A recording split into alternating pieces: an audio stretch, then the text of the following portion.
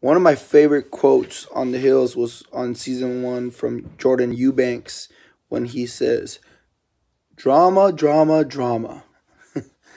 I love that.